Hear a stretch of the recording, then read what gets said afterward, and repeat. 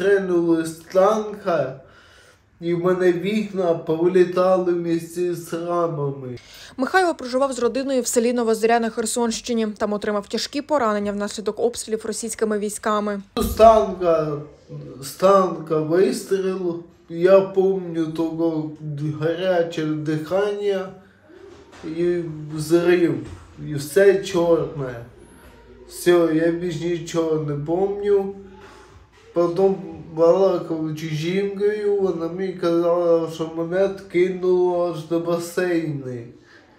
А в хаті були діти і вона з дітьми. Ну, вони привезли в лікарню 10 марта. У вас були тяжкі поранення? Ой, дуже. Ну, в мене три осколка з голови достали. Тут куча осколків.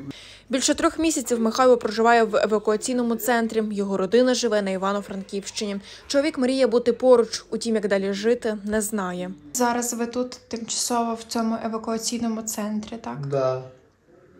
Як далі я не знаю, що робити. Абсолютно не знаю.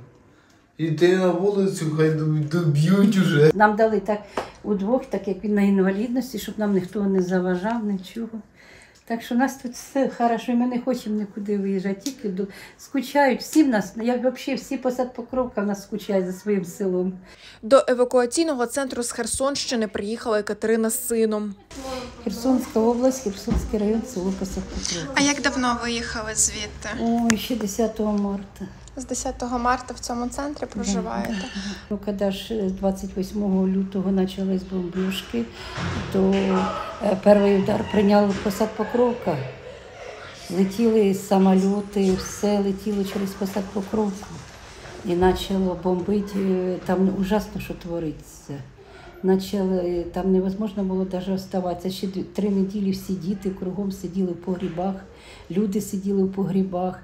Над нами самоліти такі літали, бомбили цей е, посад Покровку. Коли вже наші зайшли війська в посад Покровку, вже тоді треба було виїжджати, тому що вже були бої, вже почались посад Покровку вже як накривати.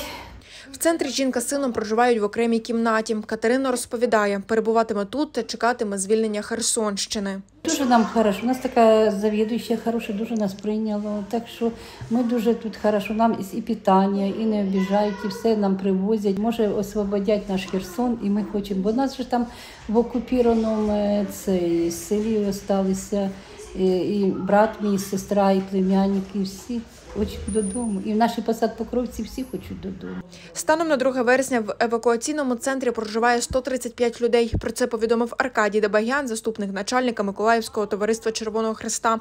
Людей забезпечують усім необхідним, годують та надають медичну допомогу. Проживання безкоштовне. Розміщують переселенців на невизначений термін. Єлизавета Кротик. Єдині новини на Суспільному. Миколаїв.